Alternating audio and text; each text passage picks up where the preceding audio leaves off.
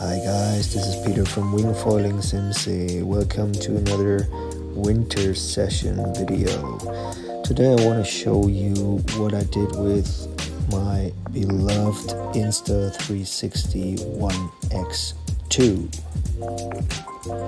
We had an extraordinary windy day and I had to ride this 4.2 F-One Strike and later on I switched over to a Swing V2 2.8 and that was really a great day. In this video I used a 90 centimeter pole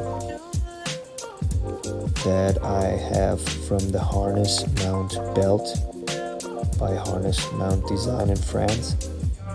And I used just the carbon pole fix that to the surf handle and the first handle of the wing and as you can see you can get some really cool footage out of it.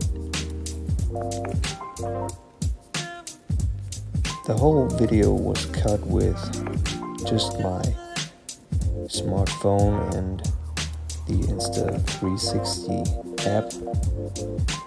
Every effect was done with it And if you want to see other possibilities to mount your 360 cam, check out my other videos and I will get back soon with detailed specs on how I fixed it to the wing.